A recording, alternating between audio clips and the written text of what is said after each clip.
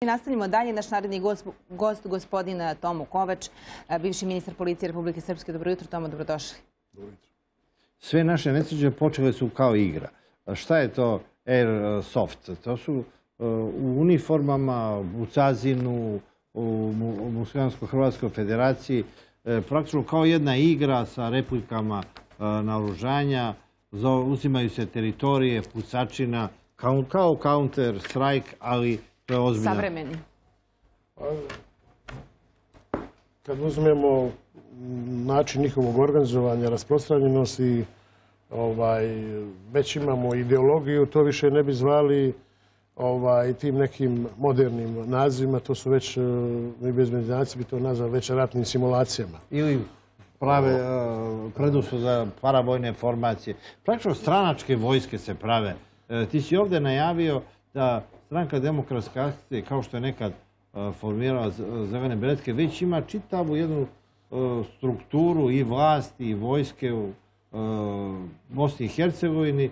I praktično nije uopšte više bitno ni ko je na vlasti ni kakva je vlast u Sarajevu, jer stranačka akcija, stranke demokratske akcije je organizovana po džamijama, po raznim sportskim društvima i deo toga je ovo što smo najavili. Pa Bakir ide samo na, na savremen način, prilagođeno današnjim uslovima kao i njegov otac. Njegov otac, iako je bio predsjednik Republike Bosne i Hercegovine, napravio je para, napravio para sistem, para državu, para policiju, para vojsku, što je srušilo ondašnju Bosnu i Hercegovinu. Znači, jer mi Srbi tada koji smo bili u državnim institucijama ili u policiji na čelu policijskih institucija, nije nas otjeralo ideologija samo SDS-a koji je tad bio u vlasti zajedno sa Izetbegovićem, već nas je nešto drugo otjeralo što nismo željeli da budemo u tom nesistemu ovaj, gdje je jači bio već parasistem od, od nas sami. Tako imamo i sad ovaj, kad je u pitanju Bosna i Hercegovina. Ne može već godinu dana se formira savjet ministara vlast u Sarajevu, a praktično vlast funkcioniše. Pa funkcioniše taj, loše funkcioniše, ali funkcioniše taj parasistem. Kako, šta Bakir Zbelivović kaže? Imamo namjensku industriju, 90% namjenske industrije je u Bosni na muslimanskoj federaciji. On sam kaže pravimo nešto, ne daj Bože. Prije nekog vremena onaj, skupili su se svih ovi ratni komadanti sa Bakirom i tražili su, bilo je to malo je procurilo u sredstvima informisanja, tražili su da se muslimanski narod, bošnjački muslimanski narod da se mora obučavati, da ide na širu, obzirom da nema redovnog vojnog roka, da ide na širu na širu Evo imamo snimak u režiji, ove najnovije igrice. Evo, ako pogledate ovaj Evo, snimak. evo, šta je? Crna Evo, pogledajte ovu sliku. To ne mogu biti sportske igre. Pogledajte zastavu. Ovo je iz Stazina, ovo je iz Stazina, pogledajte, zastava je ratna zastava. Znači, nije zastava Bosne i Hercegovine sadašnje, već ratna zastava. Znači, oni Pogledajte iza leđa ovaj polumjesec i zeleno. Znači, ovaj, šta je, momci su obučeni, pogledajte, znači oni su potpuno obučeni po NATO. Ovaj, šta je razlika? Ovi kad su se pripremali 1991. godine išli su na zelene beretke, na, bio jedan folklor koji je išao tada na radikalizaciju muslimanskog naroda. Sad se bojimo da se oni kandiduju kao neka promuslimanska, promuslimanska vojska da budu perjenice NATO pakta. Jer ne zaboravimo onaj, u svim ovim sadašnjim procesima glavna, glavna borba je pitanju utjecaja NATO pakta na prostor Bosne i Hercegovine, Srbije i sukobi i svakako da će sredstva, da će se NATO pakt koristiti onom metodologijom koja se koristila Austro-Ugarska. Ovaj, jednom, pratio sam jednom kad je ova miljenica moja Milička donijela knjigu, poklonila jednu utjecaj samo ne znam da li ona pročitala te knjige Katarine, zamjeram ti što me nisi branila kad me je prozvala, jer se ti bojiš, ona je Irinu odavde otjerala s ove televizije, ti nisi smjela da progovoriš ništa. Ne šalim se malo. Već govorimo o strategiji. Kogod dođe tu može kaže šta god želi, pa vi međusobno. Mi smo slobodna televizija. Ma naravno, ja samo hoću da, ona je dama, neću ja ništa loše da kažem, samo ću govoriti o metodologiji kojoj koje nastupaju i ona pripada. Sjećam se jednog razgovora generala Ace Vasiljevića, šefa Kose, Jeliz Begović, u predvečerat, gdje je on rekao da se formiraju zelene beretke, da se naoružavaju. A Izetbegović je rekao da je to srpska propaganda, da to Karadžić i njegovi izmišljaju. A general Vasiljević je rekao, imate vi ovdje player, On je rekao ima, uključi. On je jednu VHS kasetu, tad je bilo modi, pustio mu gdje e, zelene beretke e, pozdravljaju Aliju Izetbegovića. I on nas snima. Pa kaže, jesi ti ovaj? E, e, a oni se pravili da to ne postoji. Pa jasno je sve bilo ovaj, već na godinu i pol dana, dvije godine dana prije intenzivno se išlo na naoružavanje, i, ali je Patriotsku ligu osnovao na tada, na tadašnjoj mojoj opštini, znači na Čekaj, Iliđi, kako i ti u nisi kući vidio? Memića. Pa vidjeli smo, znali smo, sve je otvoreno. Pa čekaj se zna, Sve su oni krili to da Pa prave. nisu ni krili ništa. Šta su, jednostavno se ponašali onaj, kao što se i danas ponašaju, da je to njihova teritorija, da tamo, to je ono naša bitka za Republiku Srpsku i za srpsku policiju.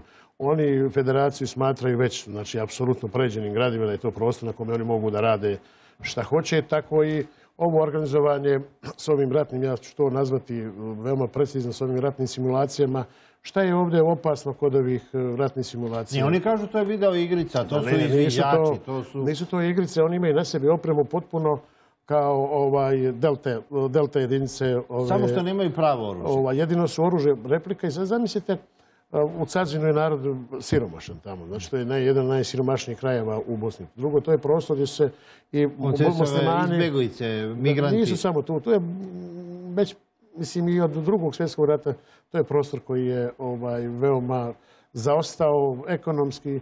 I zamislite u Cazinu, znači tu sirotinju, koja se tukla između sebe. Oni se tukli sa Fikretom Avdić jedinstvom, oni su imali dupli rat, tukli se s Srbima, tukli se Hrvatima, tukli se između sebe. Oni su imali između sebe ovaj, između sebe naj, bili. najkrvaviji prostor i tu toj djeci oblače da im hiljadu i pol maraka najmanje košta ta kompletna. Jer osim replike puške sve je original NATO borbeni sve. uniforme, sve i ozbiljna se sredstva Znači, tu se ozbiljna sredstva izdvajaju. I šta je sad suština kod tih simulacija? Oni prave simulacije bitaka njihovi koji su imali protiv Srba u, u 92. Znači, imali smo jedan strašan I građanski oni, rat. I oni osvajaju ponovo E, srpske Ali što je tu teritorije. bitno? Mi smo imali jedan građanski rat i umjesto da, bi- da se bježi od toga, i ja sam prvi, bez obzira, bili smo u tom klanu, učestvovao sam, ne bi nikad, nisam da se omladna nikad truju, da mrze ili da pretpostavljaju sebi mete. Ko je njima meta ovim iz Sazina? Ko im je s druge strane kad te bitke idu, te e, prave kompletno, oni prave Iako borbe tamo- po bitkama. Iako su tamo Srbi i crvene beretke čuvali Fikretove muslimane od dalinih muslimana. Pa i to je znači taj jedan njihov sukob koji je bio. Ali e, kad ove simulacije kad prave sa ovim obilježjima koje smo vidjeli, znači gdje je pozadna i islamski, a sad imamo dodato još taj NATO, NATO element kao njihova podrška gdje se oni kanduju njima. Ja sad ovdje još uvijek ne znam, vidjet ćemo da li, da li NATO, NATO službe stoje iza ovoga ili se oni kanduju. Ali gledajući iskustva šta je opasno za Bosnu, iskustva Austro-Ugarske, a, gdje je Austro-Ugarska išla svim silama da ne dođe, da se ne mogu neke stvari urediti u 19. vijeku između Srba i muslimana, već da ona i od tad je Turska bila, znači da, da Bosna ne bi prešla, jer je tad Bosna većinska srpska bila, ovaj, iz tih popisa pred ulazom u Austro-Ugarsku, gdje su napravili takve sukobe da je Austro-Ugarska stvorila uslove da uđe u Bosnu i Hercegovinu da to uredi. Ja se bojim sada ponovo da, ne bi, da ovo ponovo ne bude ovaj uvod u sukobe gdje će neko treći stvoriti uslove da Bosnu potpuno i sada pod jednim vrstom, a da ujedini nacija protektoratom, da ne bude NATO protektorat i da ne dođe do sukoba. Jer neozbiljnost Alije Izetbegovića, ono što se on igra i u koje konflikte i procese uvodi Dobro, ali državu Bosnu i da Hercegovinu. godinu dana posle izbora nije formirana vlada u Sarajevu pod obrazloženjem da eto Dodik se protivi e, potpisivanju e, nekih pred NATO ugovora e, i da je i ako Dodik neće NATO, onda nema vlade. Ali onda evo Ali kažu iako je rekao Bakir Izbegović e, na državnoj televiziji u Banja Luci da će on ipak sačekati s NATO. I kažu da je to vrlo zanimljivo da je od dežurnog negativca preko noći gospodin Izetbegović postao glavni pozitivac koji eto kaže da nema članstva u NATO bez podrške Srba i da neće formirati vlast bez SNSD-a, ali pri tome najavljuje kompromis po pitanju ANP-a. Pišu. Ba, znate kako, niko krupno ko bakir ne laže, tako ima jedna uzrečica što se tiče nas. Samo A da malo pojasnimo. Bilo je već dogovoreno Evo da sve i onda je sve malo. puklo. Ništa nije bilo dogovoreno. Ja sam, ti si bio na odboru kad sam ja kod Katarine gosta, kad sam rekao Bakir je prevario Dodik. I tad su skočili Republike Srpskoj Čakovi, bliži Dodikovoj botovi, šta je ovo, je li se ovo Tomo okrenuo protiv Dodika. Nisam protiv Dodika, nije to stvar čin Dodika, već je čin uh, samog Bakira. Bakir u tom sporazumu nigdje nije spomenuo ANP, iza toga je odmah išao sa tumačenjem da je Dodik prihvatio da je Dodik prihvatio ANP što nije i što Dodik to neće uraditi. I sva, to je suštinsko pitanje. Šta je, šta je ovdje bitno? kaže Bakir navlači on, bukvalno ovako se izraže Srbi, samo vi bilo kakav ANP potpišite, jer to je kao u skladu sa zakonom. ANP je jasno put u ovaj potpis put u NATO. Onda bi poslije tog ANP-a rekao Srbima, pa vi ste sve što ste do juče vi izglasali i prenijeli, nema nazad nigdje. Jer on kaže, sve ovlaštenja koje ste do sad prenijeli, nema nazad po cijenu rata. Nema, da li je to u skladu sa Daytonom, da li je to pod pritiskom međunarodni međunarodnog predstavnika bilo koga drugog pod kojim je pritiskom, ali nazad ne. da se vrate ovlaštenja Republike pa, Srbije. Proces koji Dodik misli da će moći da vrati, mislim da će to ići ovaj, teško. Mislim da je bolji put da on donese na skupštinu odluku da su sva ta ovlaštenja da stoji onaj prenešena, da stoje kao prenešena i da nešto što u budućnosti bude onaj, protiv srpskog onaj, naroda i Republike Srpske, da se može krenuti u proces koji je to oblik. I da se u narednom periodu, što je jako bitno, bit će još neki stvari na izgled sitniji od trgovine, od nekog zajedničkog neke zajedničke firme koja se bavi elektroprenosom, bilo čim drugim, da se sve to što bude u narednom periodu moralo napraviti kao nešto zajedničko.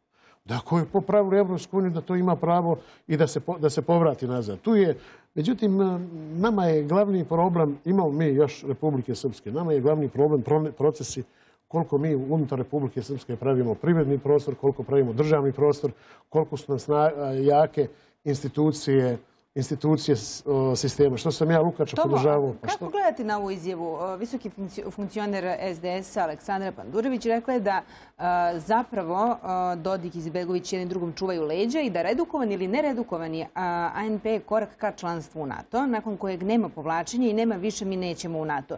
To znaju i Dodik i Izbegović za žabu koju je Dodik očito spreman prokutati, izdajući srpski nacionalni interes što mu ne bi bilo prvi put. Izbegović mu pokušava pružiti alibi u vidu floskula nema članstvo u NATO bez Srba. Ali Dodik hoće e, da, budu NATO integracije u Bosni i Hercegovini na nivou onih koji Srbija ima.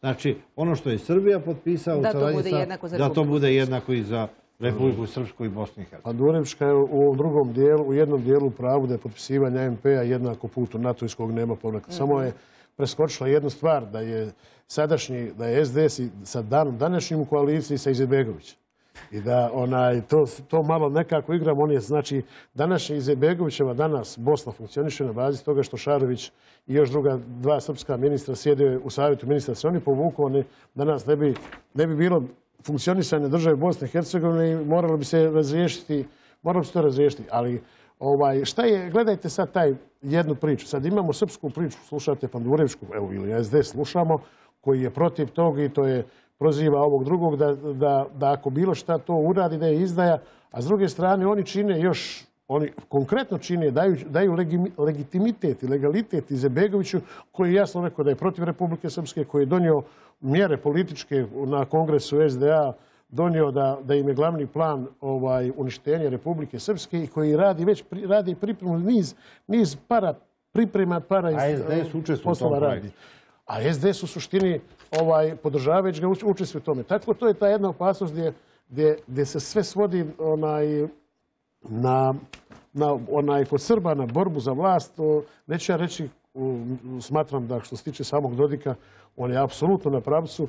Ovaj, mi ga i podržavamo, a i držimo ga na oko, što bi rekli, da mu pomognemo da je potpuno jasno. A mi pratimo sve i čekamo vas ovdje da vidimo šta se dešava. Potpuno je jasno jedna stvar ne smijemo taj AMP ući prema NATO Republika Srpska, ovaj, ne smijemo ništa mimo Srbije. Jer ne daj Bože, ako se desi da NATO prostor se napravi na Drini, da se napravi na Drini, Srbija ne može pomoći, Srbija ne može pomoći, ovaj, ne može pomoći Republici Srpskoj.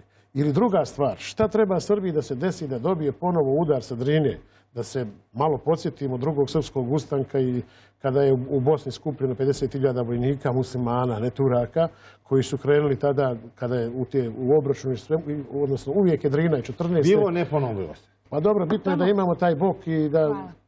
Vidimo se sad je to dečja igrica, ali... Nastavlja se ovaj razgovor od leta i sad dolazi do nekog epiloga, vidjet ćemo kako će sve izgledati. Hvala najlepše na vremenu. Hvala puno. Imamo kratku pauzu pa se vraćamo u studiju.